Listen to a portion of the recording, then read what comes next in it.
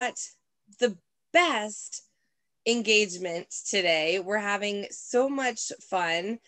Uh, we got folks from all over the globe, Tabitha. They're everywhere, which is so Amazing. cool.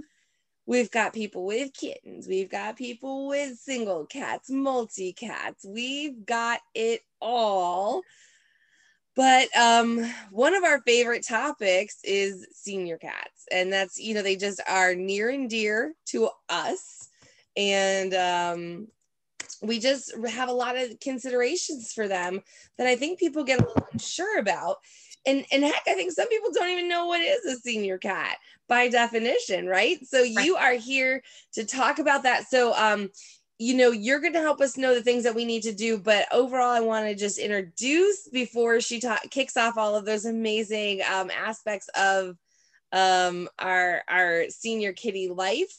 Um, Miss Tabitha Kucera is a registered veterinary technician. She's up in. Are you still in Ohio? Yes.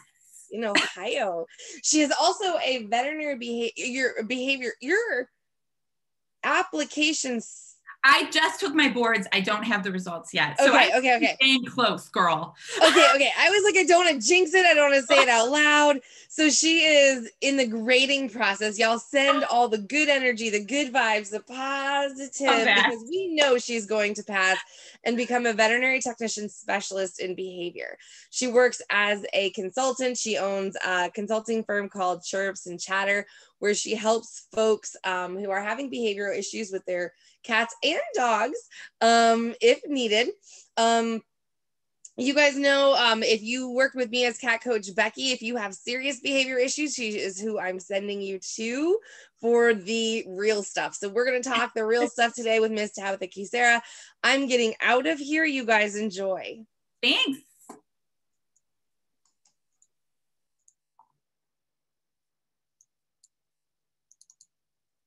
All right, I am just getting my slides. There's not too many because I know we don't have much time, but I want to get those up.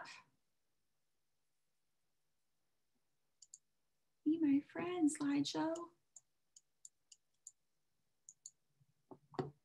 So I figured we'd start today with just a, a, small poll on what do you think is the age at which a cat can be considered a senior. So I just launched that. I'll give you guys just a few minutes, like probably a minute, so we can get started talking about senior cats. You guys are fast. I love it. Yes, yes, yes. Well, to be fair, I have the slide up that says stuff. I just realized that. I put the answer. And it looks like the majority of you are saying over seven. Well, there's quite a few of you in here. This warms my heart. Senior cats do not get enough love, you guys. And there are definitely some special considerations for senior cats, just like there are for kittens or adolescents. Age does matter because we see changes and being aware of those changes and how to keep our animals comfortable is huge. So I will end the poll. It looks like the majority of you said over seven, which is definitely the case. So I like to start with age is not a disease because many cats do begin to encounter age related physical changes between seven and 10 years. So there's a lot of different views out there, but according to me and the Association of, of of American feline practitioners, we consider a cat a senior at seven. And the reason why is because at the age of seven is when we start noting those age related changes that can happen. Like your cat may be slowing down, your cat more, more is more predisposed to arthritis, to hyperthyroidism, to kidney issues. Your cat may have some issues with their vision and seeing light and things like that. So, just like what happens to us when we're getting older. Um, my knees don't work as great as they used to. I can't drink as much as I used to. Um, and I'm still in the middle. I'm not a senior yet. Yay. Um, so it's really important to take these things into consideration because seniors, we want our cats to live longer, and they are nowadays, which is awesome due to veterinary care and amazing caregivers like yourselves. But it's really important to remember that age is not a disease. And that's something I'm a very strong proponent of because what I often hear is my cat's too old to have a dental. Like these are the things I hear because I'm a behavior consultant and a vet tech. and I work in rescue. So I'll hear things like, oh, my cat doesn't move as much or doesn't play, and that's normal. Guys, that's not normal. Age is not a disease. When I'm 75, you guys, I'm still gonna be rocking it. My play might look a little different, but I'm still gonna be jamming. I'm still gonna be going to shows. I might not be going to mosh pits anymore and watching, but I'm still doing those behaviors. So that's the biggest thing I want you to take from this. Age is not a disease, but there are changes that happen to our cats as they age. And cats are individuals. We all know it. All of us with cats know that our cats are individuals and they experience experience aging in their own unique ways. So I have, of course, all of my cats are seniors. Um, I have five cats and they're all seniors. And the one needs dental dentals under anesthesia every two years, while the other one her genetics are a little bit better because genetics play a huge part in dental health as well as I brush my cat's teeth and I do what I can to prevent dental disease. But each of one of my cats are over the age of seven, but they need different care. So it's just important to realize age is not a disease. If your 12 year old cat doesn't play anymore, that's not normal. That something's off. Your cat may be in pain. Um, or if you notice your cat's like I always ask clients, where's your cat's favorite resting spots? Because you guys know, because you know your cats. And then once I start asking the client, they're like, wait, she hasn't been on the top of the cat tree now that you mention it for like a year. And then we start realizing the cat isn't in their favorite resting spots. So, of course, us being able to recognize and reduce factors is a huge part, which is what I'm going to talk a little bit about how you can keep your cats comfortable. But of course, a big part of cat senior cat care is having them see the veterinarian ideally twice a year because they are more predisposed to having issues just like us as we age. I used to go to the doctor like once every four years when i was in my 20s don't recommend that. Go every year. Um, but as i age i'm only 36 now and i go to the doctor probably every six months. So this is the same thing for our senior cats. It's really important to have a relationship with your vet because as a vet tech I meet a lot of cats for the first time and they're really, really ill because by the time the client recognizes those signs, since cats commonly hide signs of, of pain and they aren't noticeable, by the time your cat's not eating or withdrawn, so what I mean by withdrawn, like your cat hangs out in a closet most of the day, or my cats greet me when I walk in, if my cats didn't greet me when I walked in, that's a behavior change. I'm like, whoa, what happened? And we're going to the vet. I'm probably a little overly cautious uh, because of my career, but still, if I'm noticing behavioral changes, you're going to notice those a lot quicker than you notice medical changes like not eating or drinking more water. And that's why those vet visits every six months is ideal with blood work and blood pressure because if I know what your cat's normal looks like as a veterinarian and a veterinary technician, when your cat's stuff is abnormal, I can help your cat better versus I only see your cat every five years when they're super sick. Like, for example, one of my cats has a low white blood cell count and it's normal for her. We've done a lot of diagnostics. I'm just simplifying it. But if another vet didn't know that and saw that in my cat's history, they would probably work her up or have certain different differentials on her thinking what she has versus I told the vet, this is normal. I have her history. Here's her blood work for every six months. Um, so we really keep track of those things. And then we can catch things like, because kidney kidneys do ha- have issues as they age, but the sooner we catch things, the longer we can prevent it or manage it and keep our cats living long for happy and healthy for a longer period of time. So the biggest thing with kitties, which I'm sure you guys have already picked up on this, but keep a regular routine. Consistency and predictability is everything. Now, this is important to be honest for cats and dogs and humans because our schedules have gotten a little a little change due to this pandemic thing we're dealing with and a lot of us have had a lot of trouble saying, okay, I'm not getting up and going to work. I'm getting up, if you work from home like I do now, I'm getting up and I'm going into my office. That's different and that's weird. For a cat, changes like mom's feeding me 10 minutes later, or we're moving, or we're getting another cat. When you get older as a human and as a cat, changes are harder to accept and adapt to. So even if, like, I hear a lot of people say, like, she loves cats, but we just got a kitten and my cat's 10, but she's always loved cats and this is the way it's been. And I'm like, whoa, that's like my husband when I'm 60 being like, I have this child that's going to come live with us. That's a big change and it can be really hard to take. So, when it comes to changes that you're aware of with your cat schedules, like if you are moving, there's a lot of things you could do to prep your cat prior to that. If you are going to get another cat, ideally, you're going to do a correct introduction and do that really slow at a pace both the cat, the new cat, and the senior cat is comfortable with, which can be three weeks, but it can also be five to six months. So it's really important to recognize how important a regular routine is. Like I feed my cats at this time, they get their olfactory, which is scent enrichment at this time. I take them outside for a walk if I walk my cats, um, or they go get patio time between this time every day. So it's not to the second. But for example, I play with my cats every night before I go to bed, which is between 1 and 3 a.m. Yes, I'm a night owl.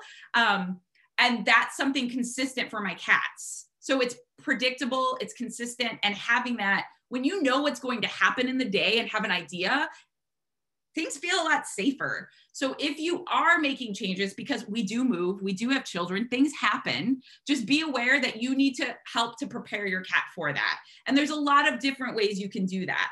Instead of just being like, hey, I just moved or I just had a baby, my cat's 13 and he's peeing outside the box. What's going on? Understand from your cat's perspective, his world got kind of flipped upside down. Or if you have a few senior cats and one cat passes away, a lot of us commonly are like, we should get him another friend. And that's actually, in most to all cases, the worst thing to do because your cat's now your cat's dealing with the loss of a friend. And then they're dealing with you because, of course, you're going to be distraught as well. So we want to keep those the cat's things around and the scent around as long as we can so that again we're transitioning that cat to deal with that loss in their own way bringing in a new cat would kind of be like if my best friend passed away, which will never happen, and then someone was like, here's this new best friend. I am going to get very upset. um, so this is the same thing for our kitties. So it's just really important to remember keep a regular routine, consistency and predictability is everything. It sounds corny, but this will make your cat's life so much better. And when you're making changes, be aware if you are like, I moved or my work schedule changed, which a lot of ours are right now, um, because some of us went to being at home all the time or not being at home all the time, like myself, and now I'm home all the time. Even though that's a good change, it's still different and weird. So I increased the enrichment with my cats, and they already have quite a lot. But when I started being home all the time, I increased the enrichment and I increased I increased some of my schedule. Like we're gonna do two play times because I knew mom's home all the time and I was probably being a little more stressed due to, you know, the world right now. So I tried to account for that. So one of the things that you can do right away, and all of you can do this without going to the vet, is seniorify your home. We always talk like with my grandmother before she passed away, she was living her best life in her home and we added some bars and things so she's less likely to slip. We seniorified the house for my grandma. And just like kittens need different care, we can seniorify the house for your kit, your cats, and your dogs for that matter. So there's a lot of really simple things you can do that just makes your cat's life easier. When it comes to going to the bathroom, eating, drinking, playing, just daily functions, I really want that to be easy for your cat. And I'll be honest, a lot of homes I go into, just doing those basic daily functions, there's a lot of stress that is oriented with that. Like the senior cat has to walk down a flight of stairs to go to the bathroom. And most cats over the age of seven have arthritis or degenerative joint disease, which is the same thing, um, in at least one or more joints. So asking your, your, your senior cat to go up and down a flight of stairs just to do a daily function, that is rough. That's like asking my 90 year old grandma go up and down the stairs every time you have to pee. It's not the greatest. So there's a lot of things that we can do to just make our cats' lives more comfortable. So here's just a few options. Routine, which we already touched on. Heated cat beds are life. Um, many of you probably already have heated cat beds for your cats, but cats run warm. They like hot things, just like me. Um, so heated cat beds can be a really easy thing to add to your house and your cats can have comfortable resting areas. Because a lot of cats even if they have some mild arthritis or not any arthritis they actually prefer heated spots. Like your cats probably like to sit near the heater or on your heated blanket. So i have heated cat beds throughout my house um, and i have five cats. So i have more than five heated cat beds because those are a high value resource and I don't want to make my cats have to fight over this amazing thing. And they all really like it. But that's a really easy thing you can do. And then, of course, you want to provide resting areas that aren't heated as well. So you should be providing a variety of resting areas. And a resting area can be your bed, a resting area can be an Amazon box with a blanket in it.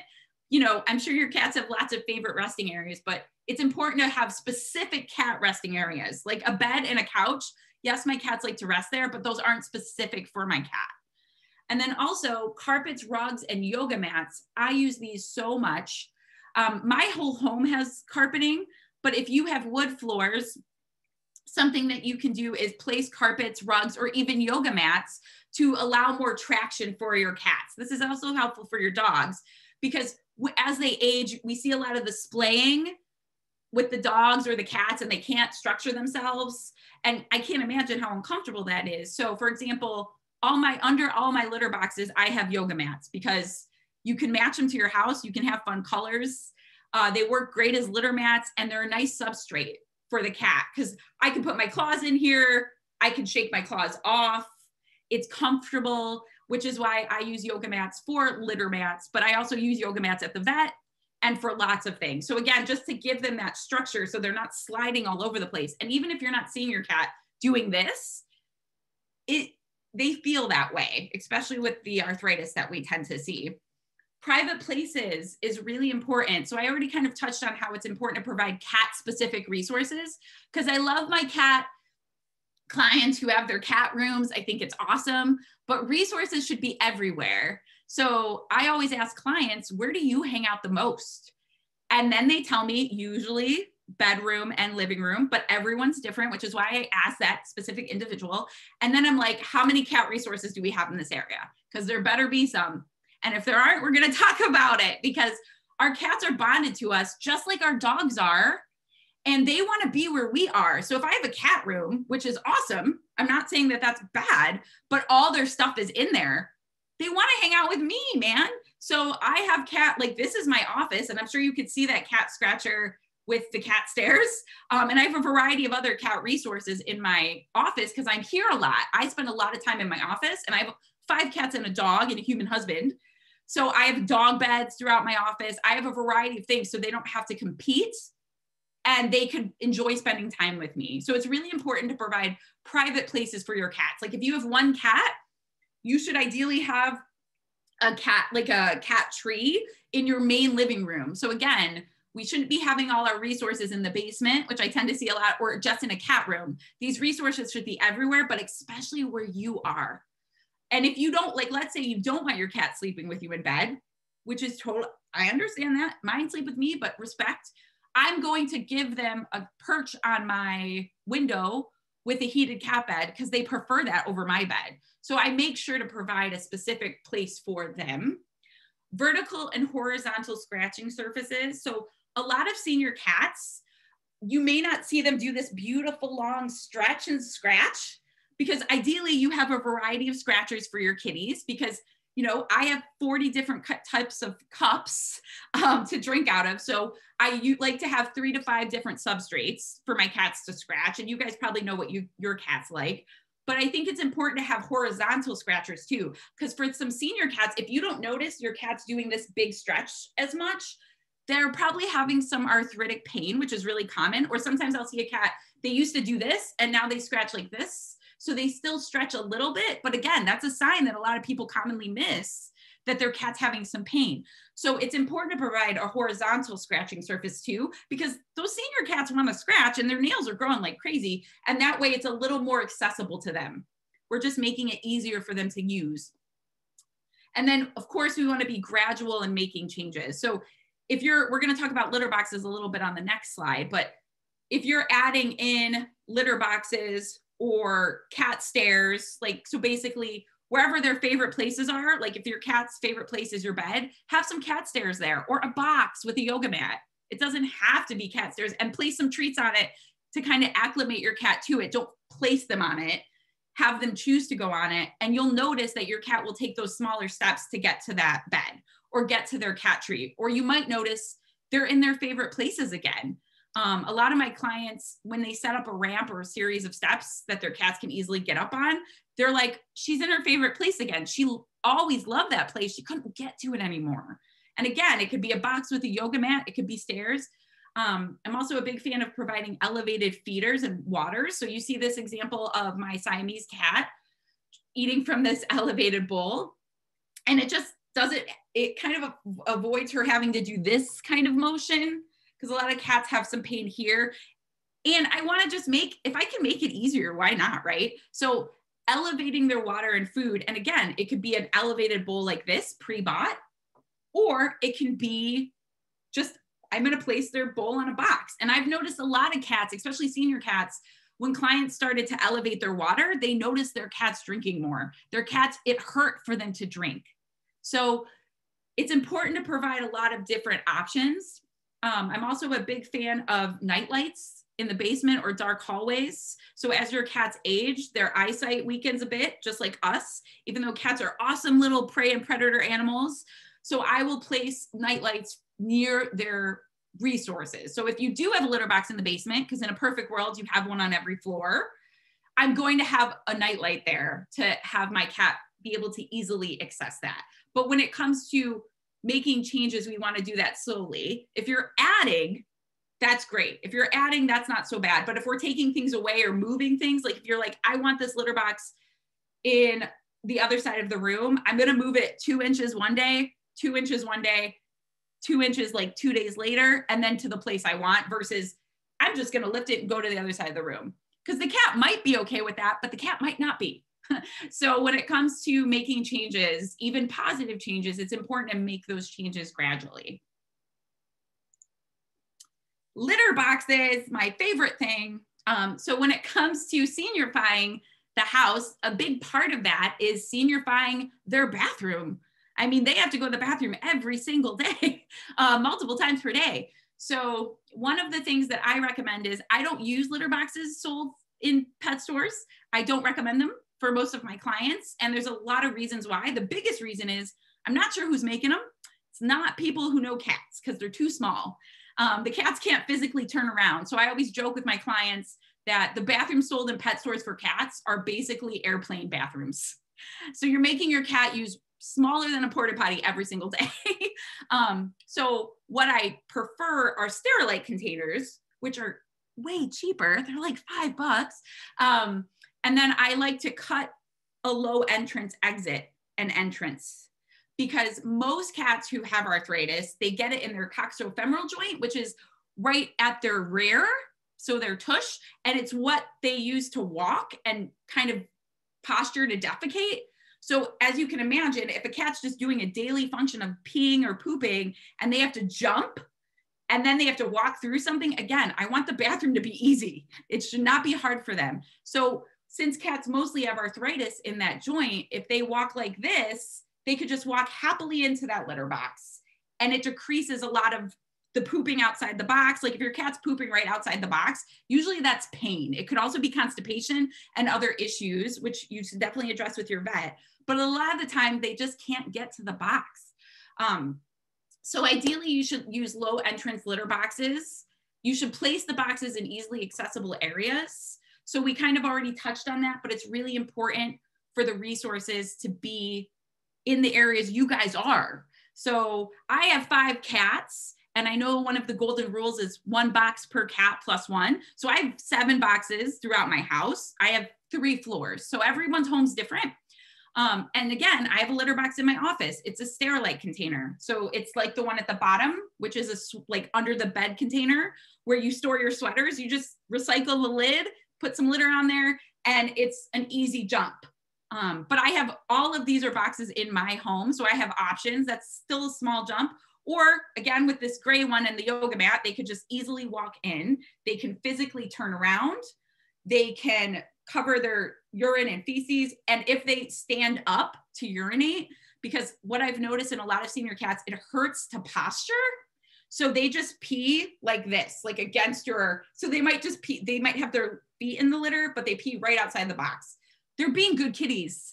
They, it hurts to do this. So with these Sterilite containers, not only are they an appropriately sized for your cat, but that way, if they do pee like that, because they that might just be a habit of theirs, or they may have some pain with the posturing, it goes to the plastic and it goes down. Nothing in your on your carpet or on your wall, which is awesome.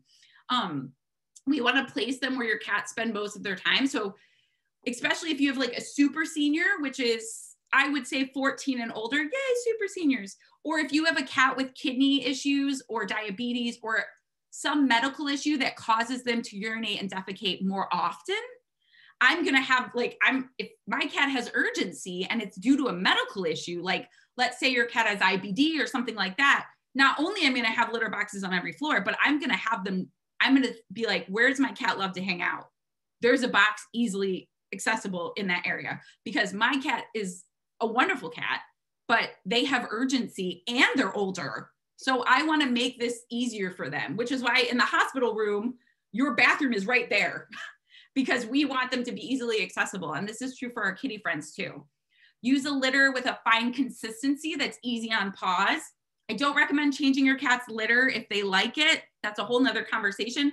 But when I go to someone's house, I pick up the litter and I hold it with my hands um, because a lot of most cats pre- prefer unscented, soft substrated litter, not pellets or crystals or all these other weird things that they're coming out with. Those are really hard on their paws. So most cats prefer litters like this, like unscented, scoopable granule litter. Or in this one box, there's the world's best, which is still a soft litter, but not as scoopable. But again, it's all about what your cat's like. It's just, I tend to like to avoid pellets, yesterday's news, crystals, things like that, because that's really uncomfortable on their pauses. Now, as far as grooming, as our cats age, they, I'm sure you guys have noticed, it's a little harder for them to groom themselves. And cats are meticulously clean creatures. Guys, they're cleaner than us. They hate being dirty, um, which is why it's really important to scoop the boxes once to twice a day um, which is another reason why we should have multiple boxes because I have five cats and I scoop my boxes twice a day. But my cats love the ones in my living room the most, of course, because that's where I am the most. And even though I scoop that twice a day, if all five of my cats go in those litter boxes, if I have boxes in other areas so they can go to use those that no one's touched. So there's lots of reasons why that one per cat plus one rule exists, but that's one of them because cats are very clean. And to ask a cat to step over their own feces and urine, y'all, we ask asking a lot of them, which is another reason why the appropriate size boxes are good because then they could just go to this side of the box or this side of the box versus the store bought litter boxes where they pee or poop. It's basically, they can't really come around, or your cat might even have to actually step out of the box to scoop and cover their poop, which is a natural behavior. And then my clients are like, there's litter all over. I'm like, your cat's awesome. The fact that he has to step out to finish the bathroom, like, let's talk about that. Um, so when it comes to grooming, your old cat is probably less likely to groom efficiently. So you may have to wipe away some discharge around their ears, nose, or anus using separate pieces of like wool or cotton, and you would warm them with warm water and just kind of wipe that off. Your cats may need a little hygienic shave. So if you have a long hair kitty, your veterinarian or your fear free, ideally, uh, cat groomer, or you, if you're comfortable with that, can give your cat a little bikini wax back there. And that's just going to help them be cleaner and feel cleaner so you don't have to wipe as often. Because a lot of long hair cats, even if they're not older, sometimes there's so much hair back there, things get stuck. Um, and that's really uncomfortable for our kitty friends. So it's really important to, for your senior cats, and the reason why they don't groom as much is most commonly due to arthritis.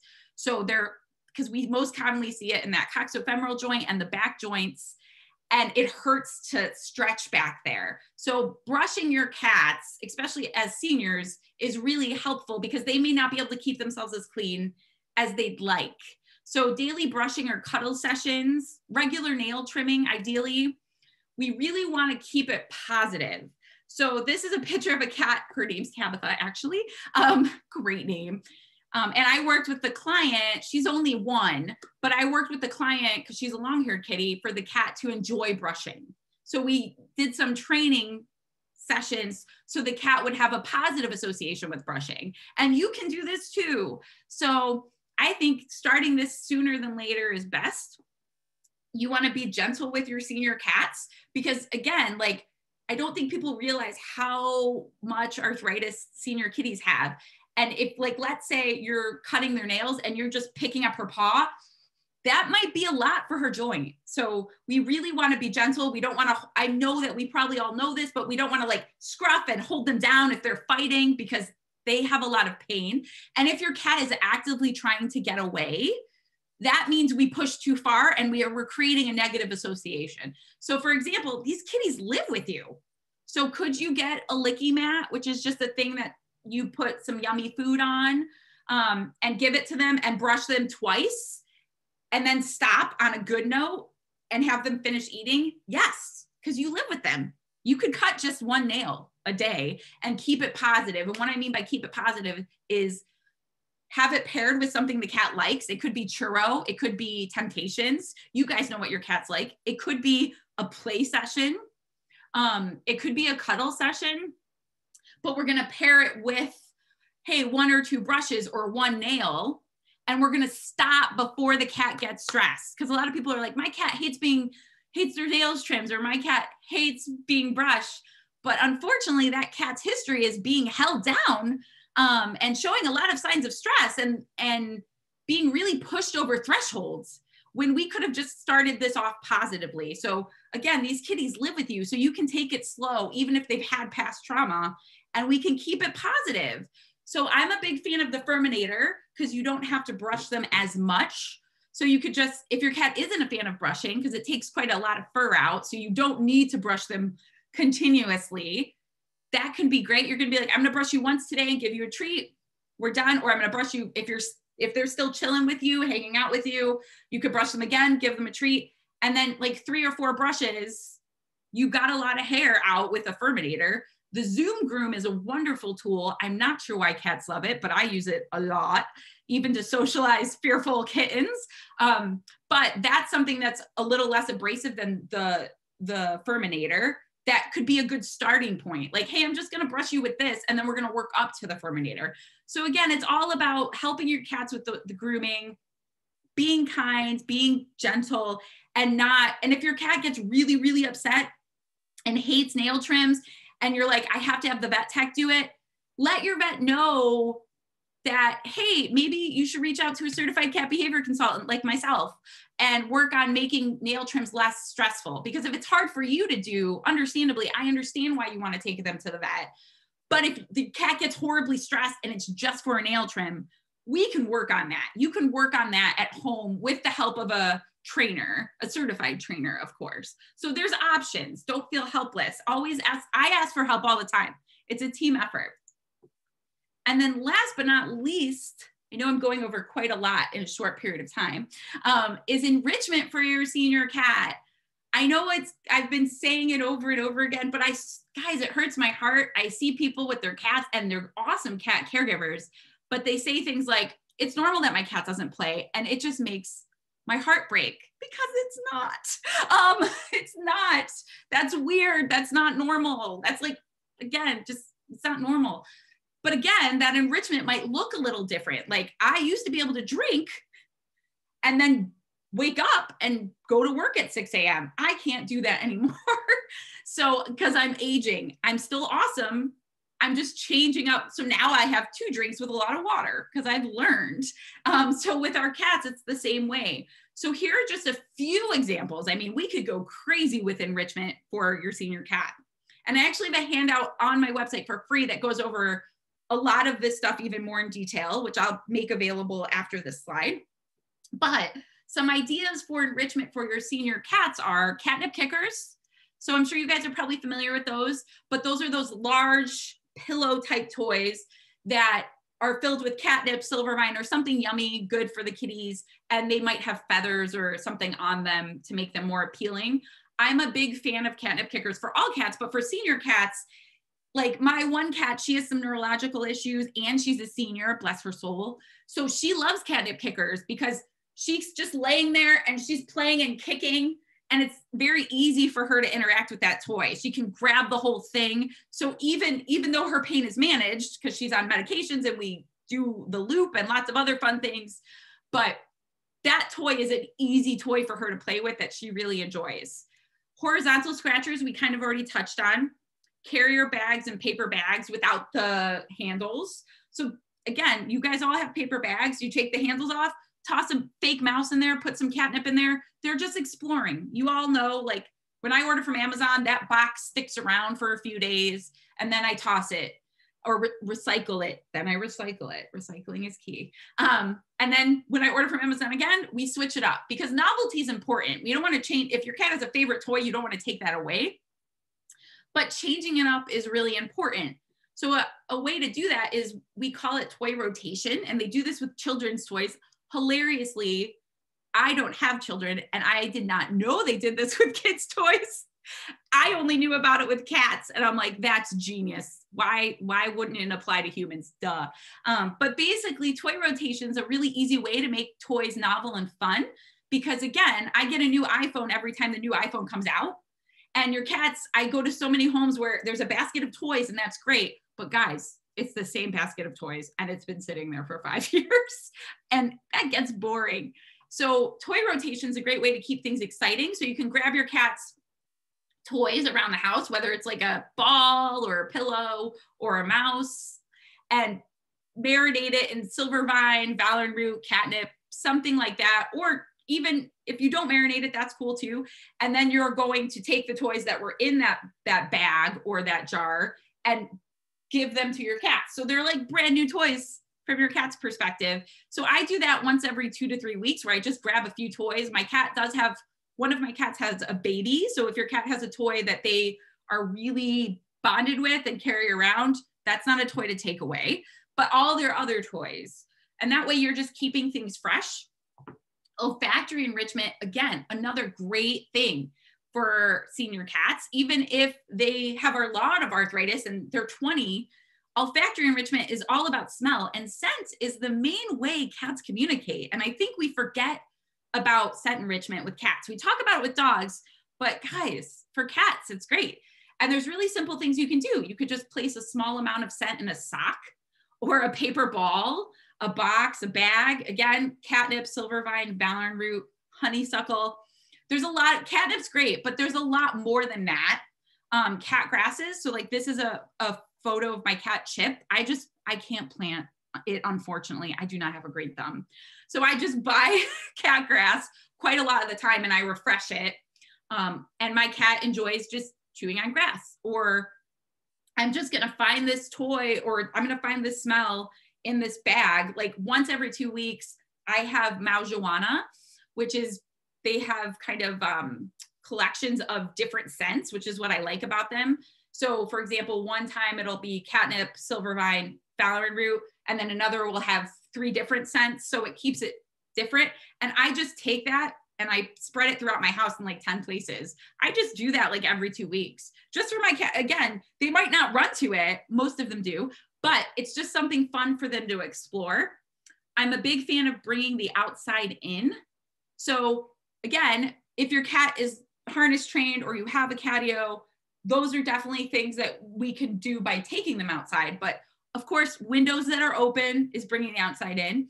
Or I, what I do is I know what's in my backyard. So obviously, we want to make sure it's a safe and non-toxic for your kitties. But most of us know what plants are in our backyard, and I will go and get sticks and things and bring them in for them to just smell and check out again, it's just bringing the outside in. It's a new smell. I went to a beach once and I was familiar with that beach. So I brought some sand home and I put it in a box and my cats played in it for an hour and then they were like, that was cool. But they just got to have a new experience. We were providing them with something different and new and allowing them to explore, which as our cats age, they need those options. Just like as I age, I I can't just stay in my house. I need to go places and do things and meet people. That's what makes us what we are. And our cats really need those opportunities to explore too, whether they're 30 or five years old. um, so snuffle mats are another great option. Snuffle mats are something that you probably commonly see with dogs. So it's basically a mat with like fleece and snuffle means to nose into. So for cat snuffle mats, usually they're a little smaller and I cut the fleece a little shorter, but they just have to find, they just have to find the treats or their kibble, um, whatever that they prefer. Like this is an example of a, I think she was 18 years old and this was the cat's first puzzle toy ever. Let's see if this video will play for me. Be my friend. Oh, that's my other video. So that's a video of a box. Um, it's my cat's favorite toy. And of course it's the cheapest. It's a box with tissue paper and I hide kibble in there. That's providing tactile enrichment because they're hearing auditory enrichment because they're hearing the crinkling, they're touching the paper, and then food enrichment because they're sniffing and looking. So that's a great cheap toy. And then, yes, this beautiful cat, she's a super senior. And her mom's like, she'll never play with a toy. And she was living her best life. She's moving a lot slower. Like, this is a super senior kitty. And what I started with was a really easy puzzle toy. So the really easy puzzle toy in this context, because you may not be able to see it, is just the bottom of an Easter egg. So really simple to start to set the cat up for success because I knew she was a super senior. It was my first time meeting her. And anytime you're introducing, because you can see all these puzzle toys right here, I have quite a few.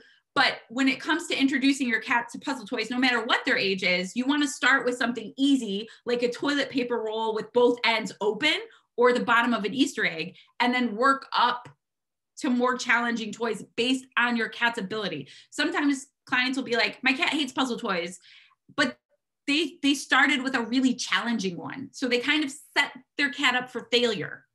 Um, just like if I if you gave me something and I couldn't do it, I don't want to learn with you anymore. Um, so you want to set your cats up for success. And again, another thing you could do is just hide treats in your cat's favorite resting spots. That's usually how I start my clients to feed puzzle toys. I don't even have them add the toy yet. I just have them place the, I ask them where their cats like to hang out the most. And I'm like, just get five to seven treats, depending on how many cats you have, um, and place them in their favorite resting spots. So the cats are just like, ooh, I got a treat at the place I was at. This was easy. And then it, sometimes the cat will find it immediately. And then I'm like, okay, if your cat was like following you and found it immediately, then we're going to add an Easter egg or a really easy puzzle toy. Then, if your cat still does well with that, we're going to make it a little more challenging and start to hide them. So, again, you're working at the pace of the cat. Some other options, again, tossing treats. Like with my senior neurologic cat, she we found her outside and she wasn't in a great state. Um, so she really didn't know how to play, um, which I commonly see. So I started with just tossing her food at feeding time, like close with the door closed, um, away from the other kitties, so she could feel safe because she was new to my home. And now she's the best with puzzle toys. She tries to get my dogs puzzle toys, but we started with that. Everything good, Becky? Oh, love, you're muted.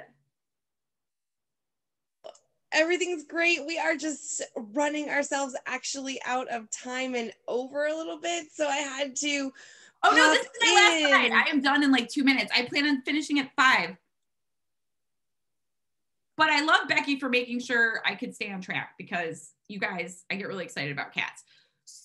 And we will just we'll get to the q&a we'll have to skip the q&a guys sorry about that so last but not least, clicker training is another really cool thing that you could do with your senior cat. And it's really important when it comes to enrichment. Find what your cats like and enjoy. It's really important. So your cat might love this while your other cat loves this. They might have, they might, your cat might be eating out of puzzle toys while your other cat's still on that. I'm finding the, the treats. And then last but not least, this is my email address and my website, as well as my Facebook and Instagram. And I have a lot of great resources, and I even have a prepare and prevent senior package that kind of works with you to help seniorify your house and find enrichment for your senior cat because we love our senior cats. And I'm so sorry that we didn't have time for questions. I know all the lectures went over a bit today. Um, but I was just so excited to talk about senior cats. And I will be joining you guys with my Q&A here in a minute. And don't hesitate to email me with any questions and I will do my best to help.